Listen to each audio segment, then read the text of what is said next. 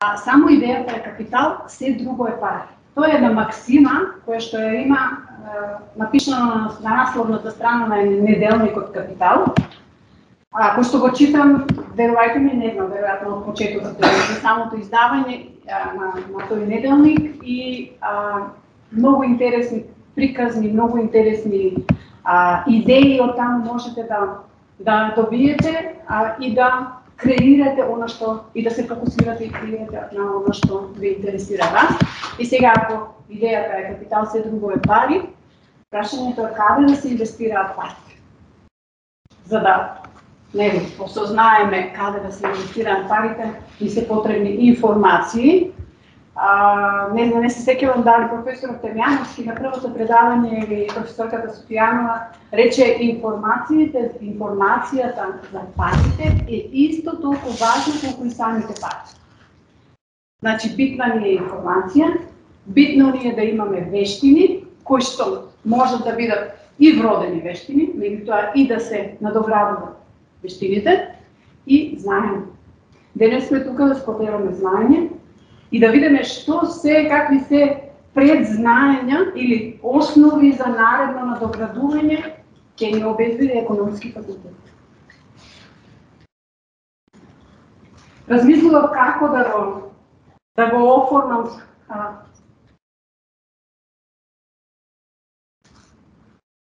Не сакам?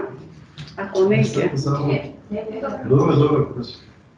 Аз сакам. Интернетот да Опс.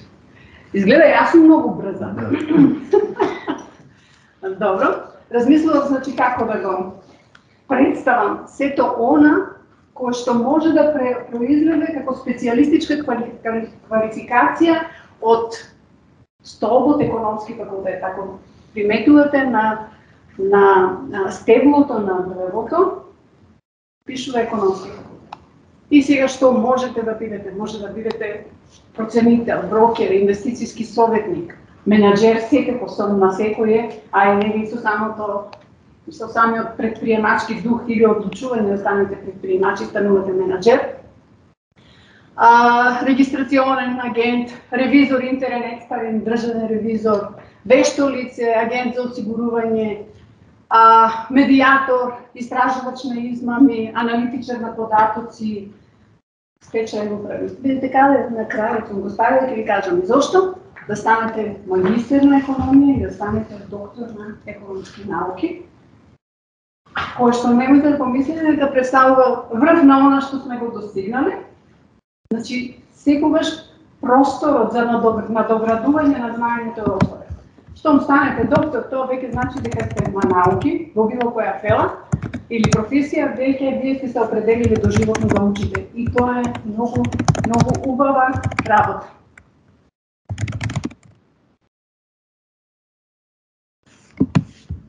Е сега дека, бидејќи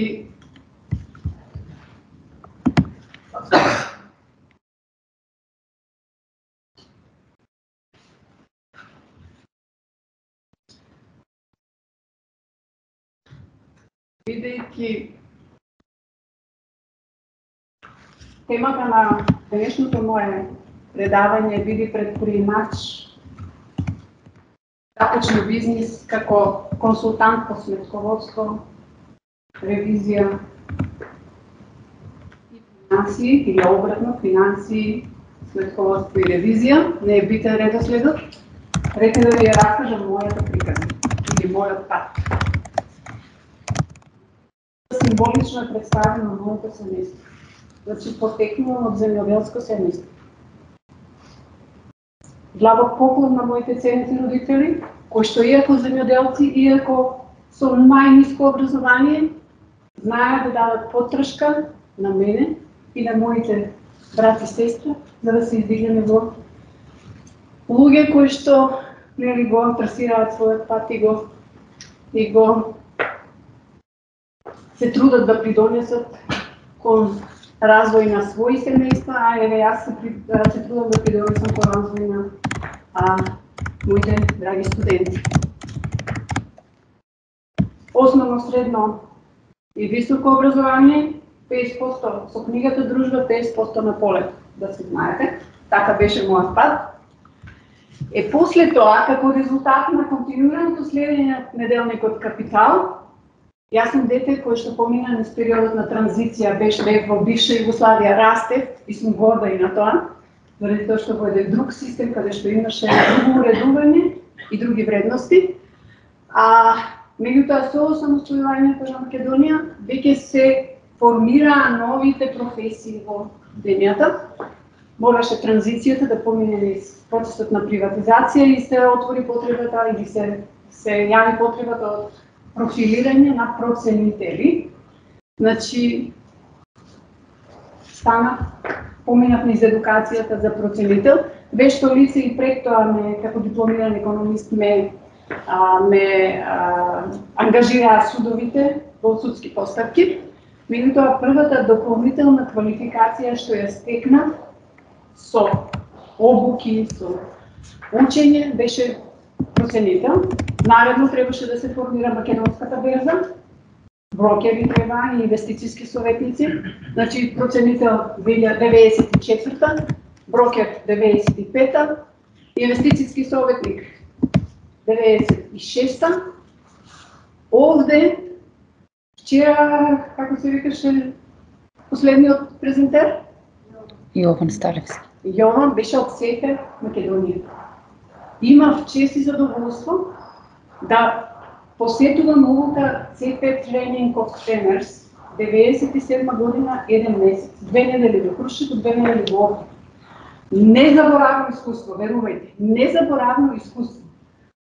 Играта што ја правевте вчера, ако некој од вас следел, значи целата обука беше низ игра. Ама и низ критички пристап.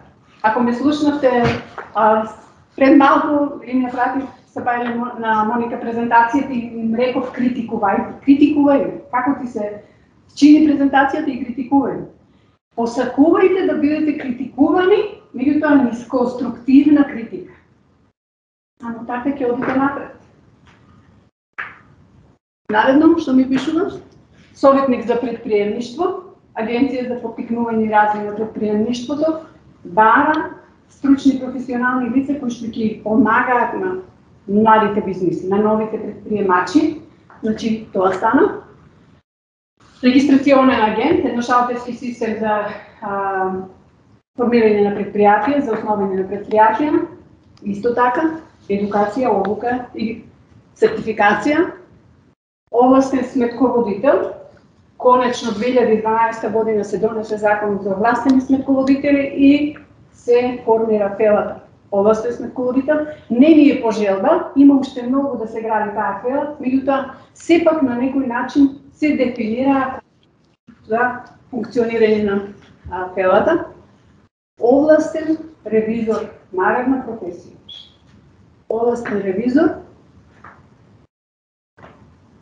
Е, овде имаше, јас ќе кажам едно метро книги, да ги проучете и да станете областен ревизор, да положите и да станете областен ревизор, заради тоа што со ревизијата на финансиските извештаи се подига кредибилитетот на информациите кои што се презентирани во тие финансиски извештаи. Се подига довербата.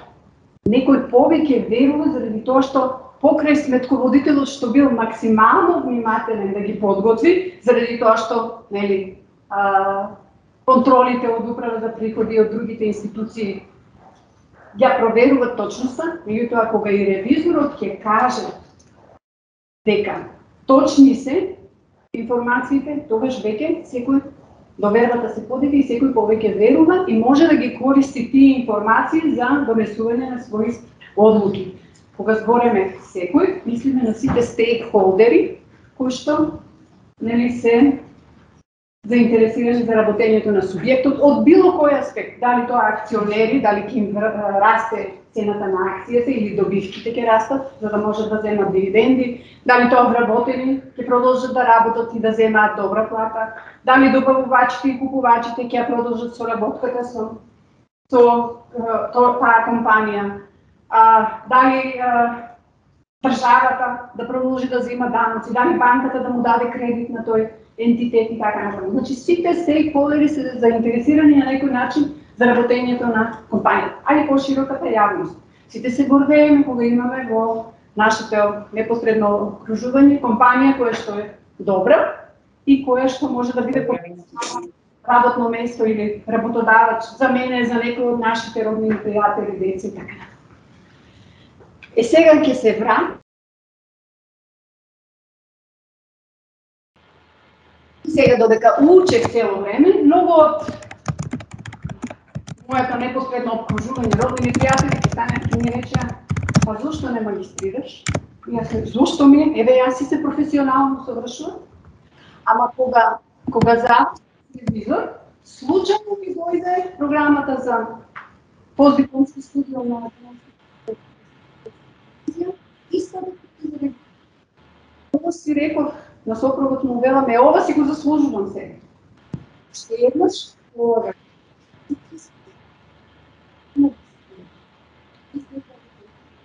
Ама менторот беше толку за да тренираш. Професоре, јас сум 45, зошто ќе мине? Па зошто ќе мине? Само тоа ми стало, да ве мотивира да ви кажете што 97 мислам дека е основа, така? Јас сигурно 2007 Јас 2010 докторирав на 50 години.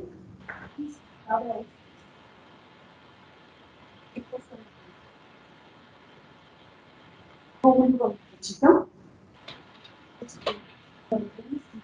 Така, да сакам планиното, така. Ако гледате презентацијата и мене,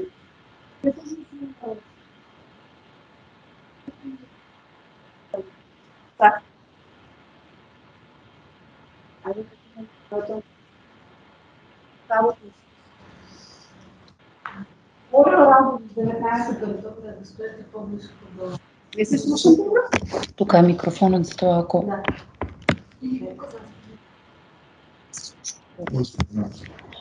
Па сакам да ги гледам сите и на никого да не му пречам. Добро. Орел Радовиш, 82 години, читава добро, што социјален политик, па ръководител па ръководител на сектор за финанси, стратководство и планиране. Многу е добро да се почне од наједноставните работи. Така ти го осознаш целиот процес, ќе клопеш целината, ќе знаеш после да ръководиш и да предлагаш корисни сугестии. Рекол дека си дека човек на транспортиране с транзицијата, голем дел од компаниите пропадна, нормално и Орел Радовиш пропадна. И долго време че ќе речам јас од утре не одам, ама се бајам да станам одам, се додека на 1 октомври 2001 година не реков јас сега не утро. Јас веќе и тргна да барам нешто каде почне со студиите. Да почнам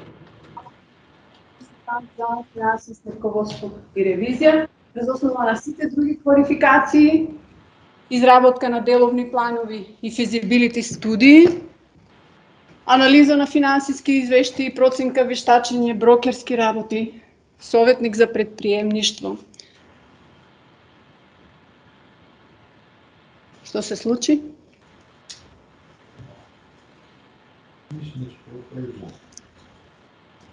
Okay.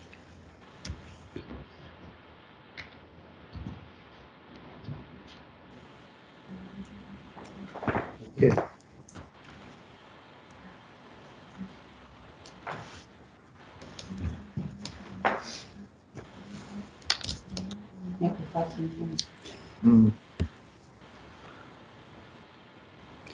Ако ги соберете годините, опс.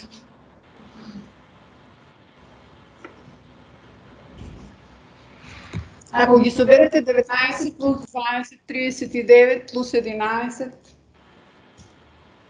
60, така? Значи, колку е? 39 плюс 11, 50. немам јас 50 години работно искуство, имам 39 години, 19 плюс 20. Огромна благодарност до менеджментот на Универзитет Гоце Делчев, кој што поддржува не само професорите да бидат теоретичари и да предаваат, туку своите знаења да ги покажат и преку пракса.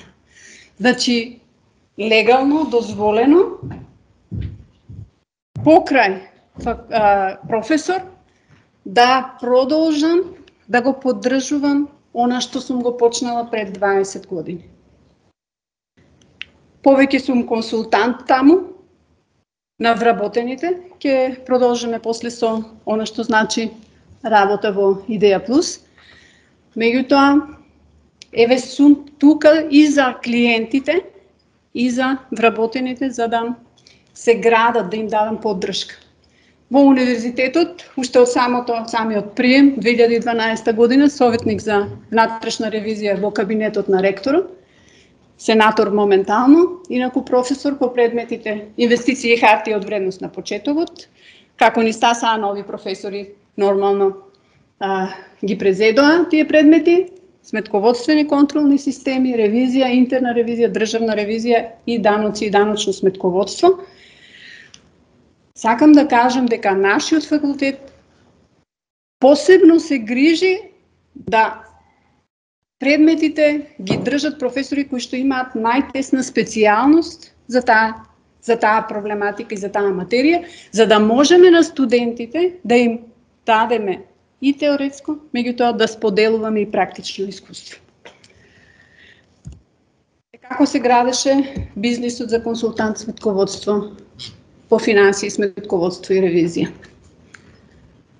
Основана 2001 година, после веќе кажав долго време, од вечер ќе кажам, веќе не одам на работа во Орел, ќе почнам собствен бизнис, меѓутоа кога утрото кажеш, јас велам исто исто како пушачите. Пушачите се викат од утре ќе се откажам. Од утре.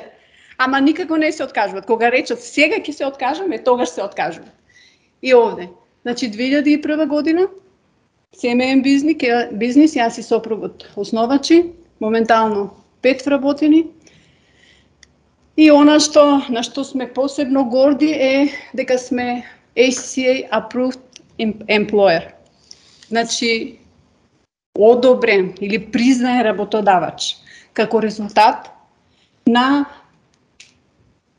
стекнатите квалификации на нашите вработени како ACCA сметководители и ревизори, кои што нашата компанија покасно ќе кажам дека доста, доста ги поддржува квалификации.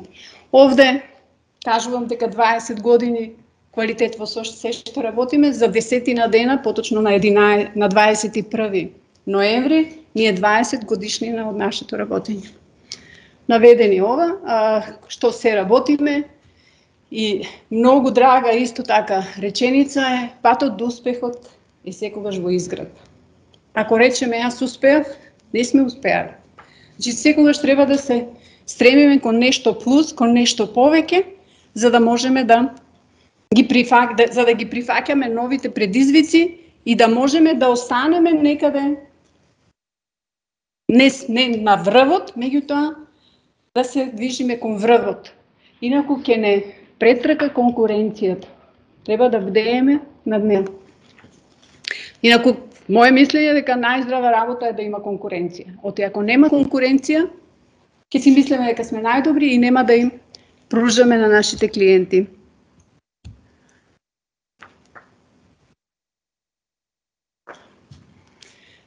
Веќе приметивте широка палета на услуги, клиенти од повеќе градови од Македонија, соработка со неколку големи компании со странски капитал. Не сме освоиле цела Македонија, меѓутоа секогаш ќе има простор да стекнуваме нова, нова клиентела.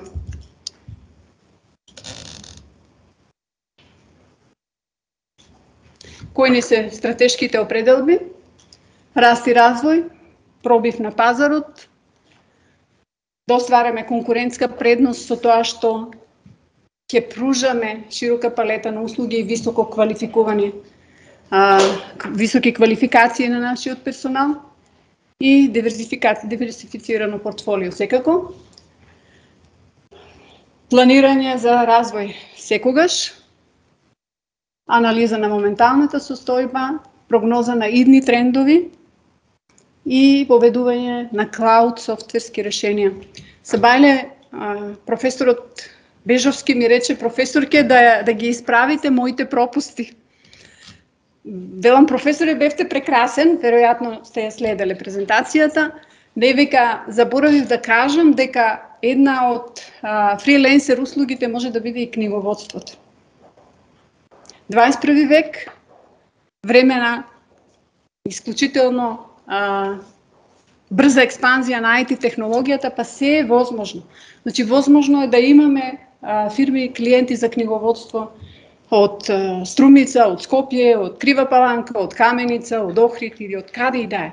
Значи, веќе се се доставува електронски. Плюс тоа, пандемијата да не се повтори брзо да заврши, да не се повтори, меѓутоа ни покажа и еден друг и една друга можност, и еден, и еден друг начин на на функционирање кој што јас ќе кажам имам сознание, а, во светот и одамна се и одамна се а, применуваше. А, еден наш роднина студира, завршува овде гимназија, дипломира, магистрира и докторира во Америка, од што беше исклучително талентирано дете, таму му велат ќе останете тука да бидете наш професор. И он веле, ама јас не сакам тука да живеам. Па не морате тука да живеете, одете си. Детето од не знам кое струмичко село, а, не е битно, си формира а, кабинет за онлайн, онлайн предавања, си држи предавања, си држи испити, си се шета со роднините, со пријателите, си прави дружби и зима 10.000 долара месечна плата. Не мора да одеме во светот, ќе кажам после дека можеме светот да го донесеме тука.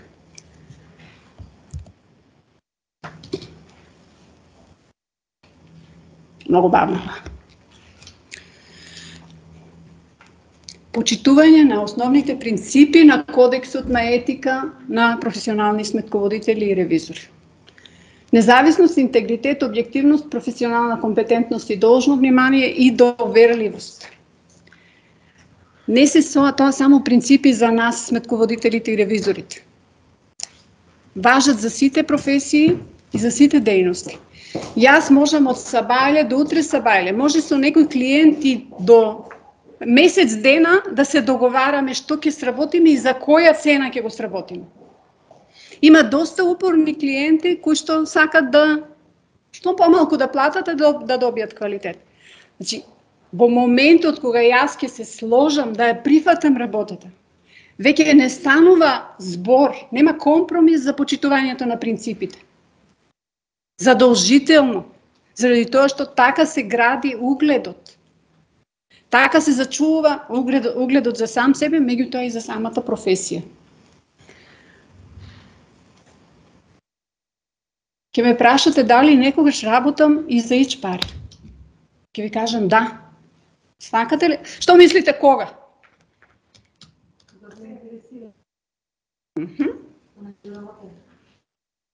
Кога ме интересира? Нешто. Така. Друго мислење?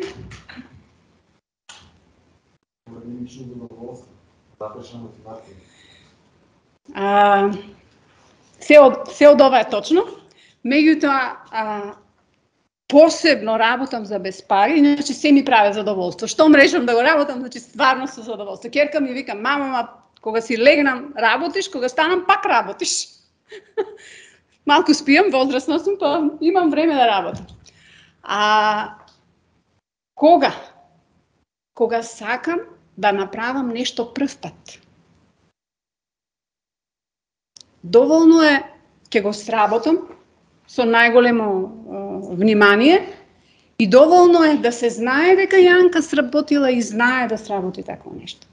После а, кој рече Митко Митко како се прозиваш Андонов на првиот ден. Рече учете, знаете, знаете парите ќе дојдат. Веру, верувајте дека е така. Ке до... услуги и користење на нови иновативни алатки во работењето. Значи, сега има безброј, многу пати го, го спомна а, ги спомна YouTube или некои други канали, значи има безброј можности да научите нешто повеќе. А керка ми вика ако нешто не знаеш, прашај го чичко Google. Ки ти каже се што не знаеш и вистина е така. И затоа кој прв нешто научи, ориентацијата ни е да споделуваме за да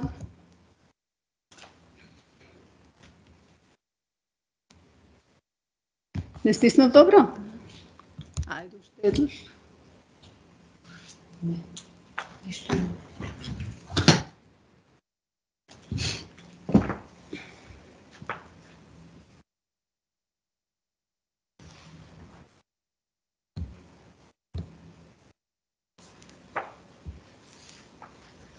Супер. Систем на управување со идеи. Како нашиот пристап. Политика на отворена врата на менаџерот. Менаџер подготвен да ги слуша вработените за секоја нова идеја, прашање и проблем што го имаат. А, мислам дека професорот Темјановски и професорката Еленица многу пати спомна што е а, шеф, што е лидер. Ако сме подготвени да слушаме, да споделуваме и да го правиме тој фидбек, тогаш ќе ќе има успех во работењето. И а, бидејќи сме мал број на вработени, неофицијални состаноци на кои се разговара за нови идеи, за подобрување на процесите, за нови услуги, што треба да се понудат, нова технологија за користење. И ако сме малку, нормално треба да ги мереме резултатите, како на ниво на компанија, значи број на понудени идеи, подобрување на процесите, задоволство на клиентите.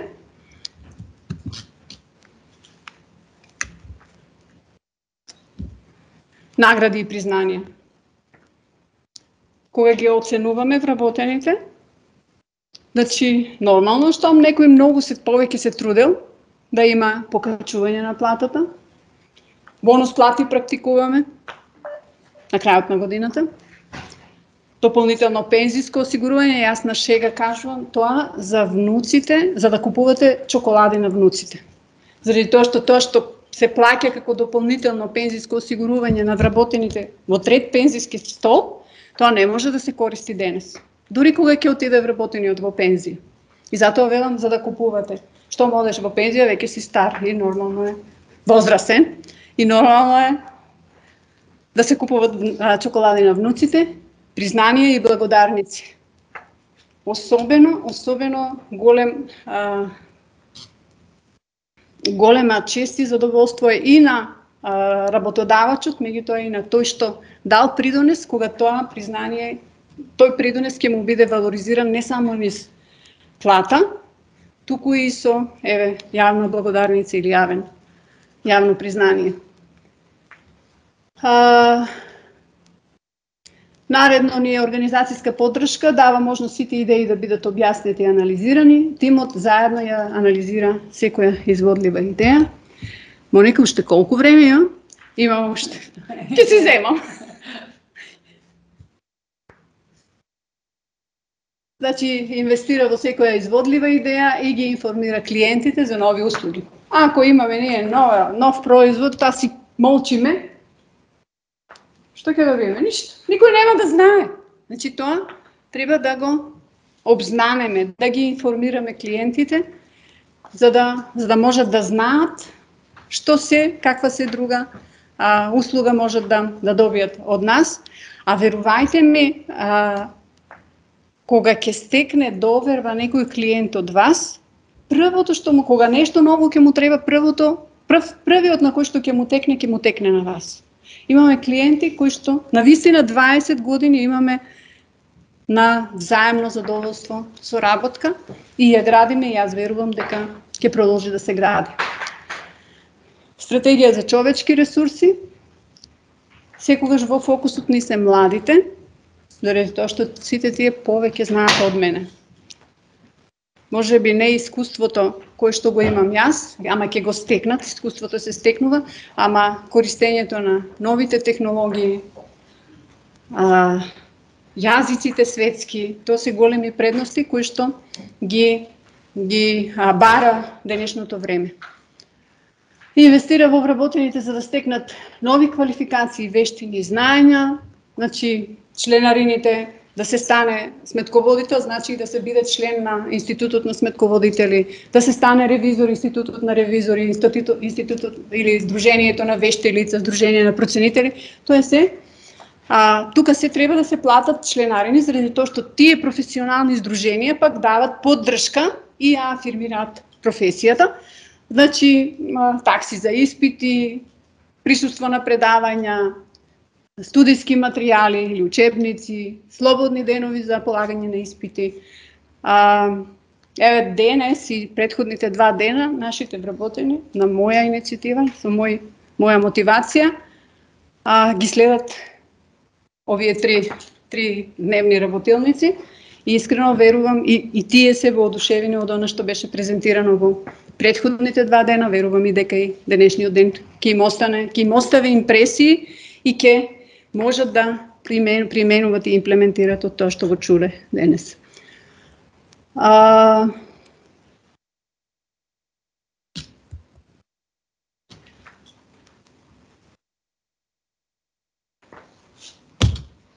сумирано, никој не може сам.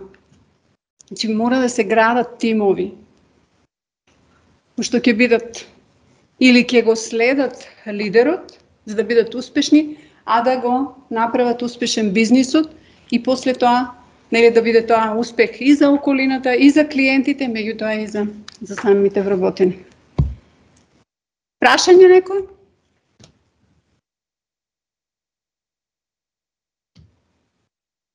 Ајде, професорке.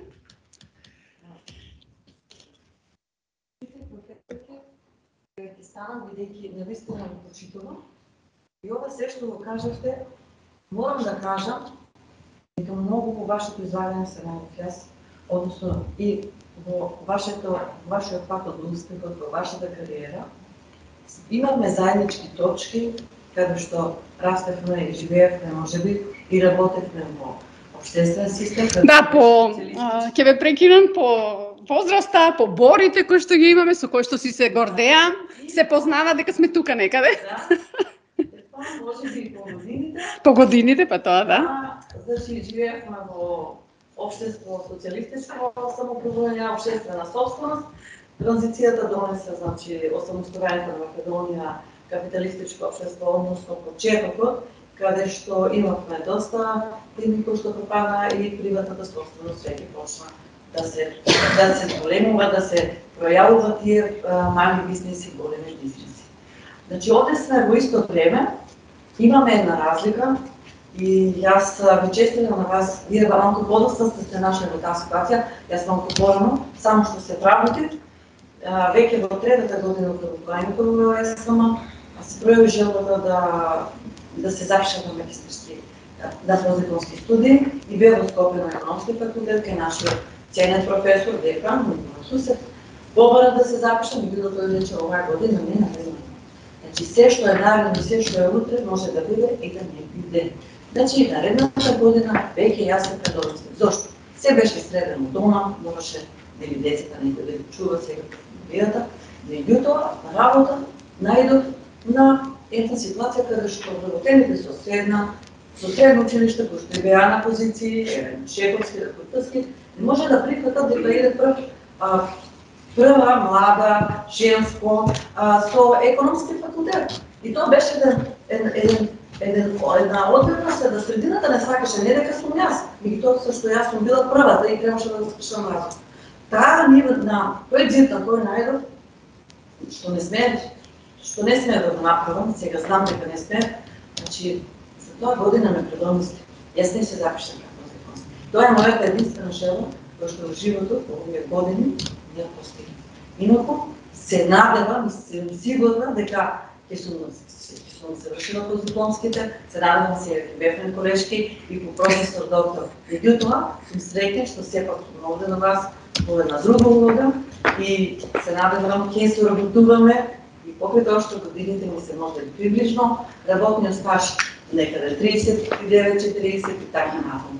А јас сум обишкелена од вашето излагање, односно од вашиот паш по кој сте одели и сте се градени. Ова младите треба да го да го слушнат, да прифатат и тие да имаат желба да ја сменаат оваа сегашност да на Булгаро, да работат и да можности дома и да останат овде да си.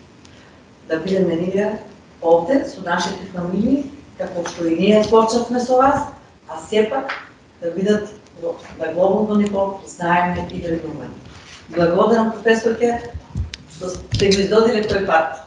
Имате, вие сте прекрасен пример за едните генерации. Се надевам. Имам јас уште да им кажам и да ги мотивирам. Ако рековме без вработените не може, уште повеќе без семеј ми потекува солзи. Исто како што ми потекуваат солзи кога некој студент многу ми знае на испит. Верувајте ми, јас се расплакувам од среќа. Значи, ниеден да успе, ниеден, ниедна индивидуа нема да биде успешна ако ја нема поддршка од семејството. Благодарам и на семејството, Е сега сигурно приметивме, приметивте дека многу пати ја спомнав ќерка ми. На кратко ќе го кажам нивниот пат. Ова е символично а, представување на нашето семејство, а ова иконка е символично представување на ова доле, на тоа дека 21 век нема граници на желбата за стекнување на образование.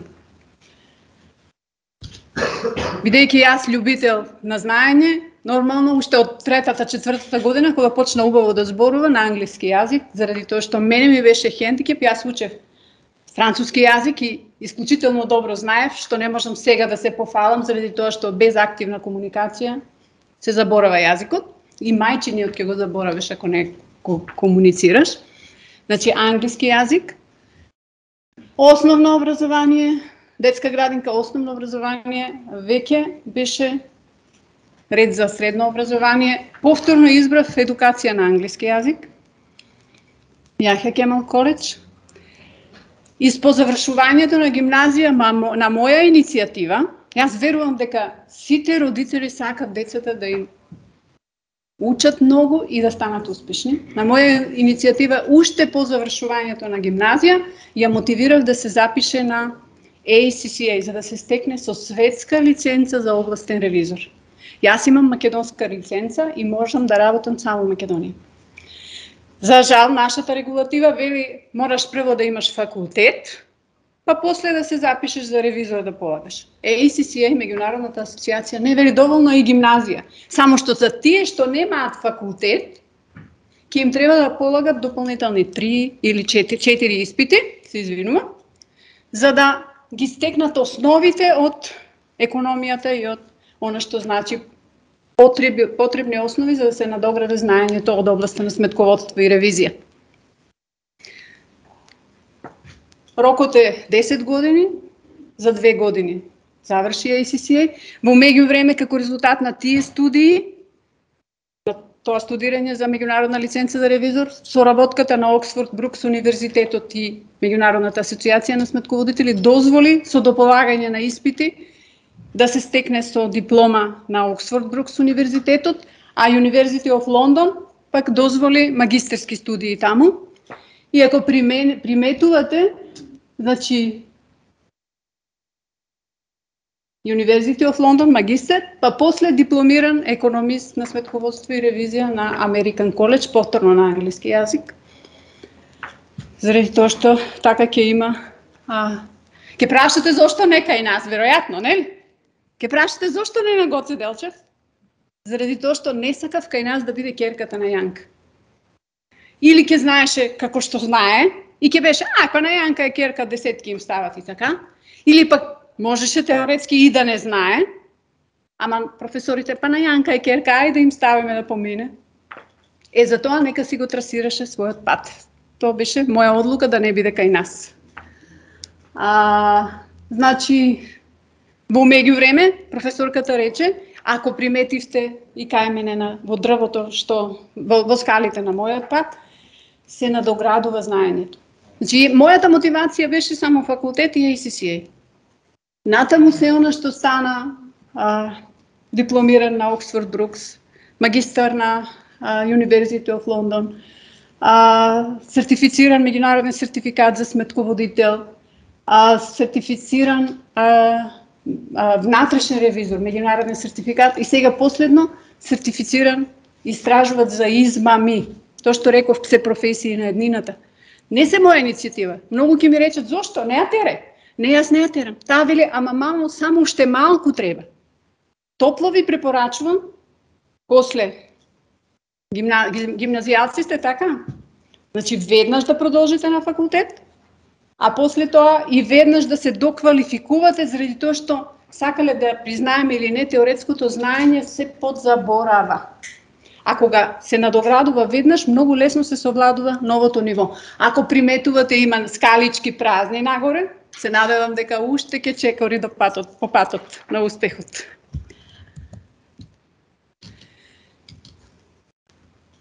Тие да се вратам тука, што напишав. Не одете во светот, донесете го светот во Македонија. Технологијата онлайн веќе дозволува голем дел од професиите да се обавуваат онлайн, пак се навратам на тоа, и за тоа верувам желба на секој родител е децата да му видат тоа, тука и мојата е.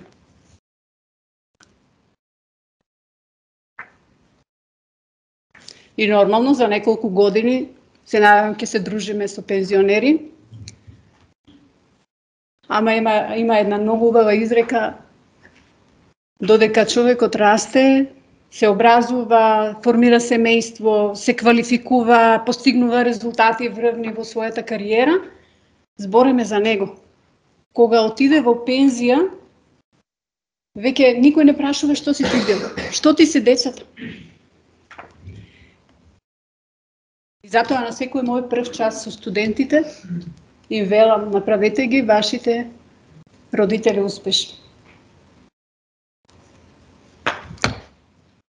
Се надевам дека бев доволно инспиративна преку нашата приказна. Еден студент еднаш ме праша која е професорке формулата за успех. Нормално знаење, вештини, меѓутоа и магичното ние.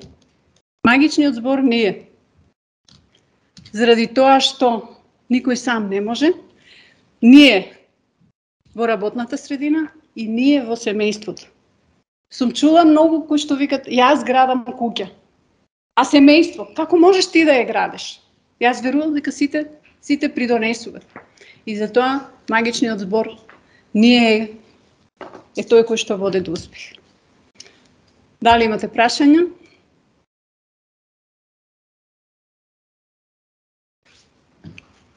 Ве мотивирам да бидете успешни во учењето, успешни во секој сегмент од вашето живење и работење и да постигнувате врвни резултати.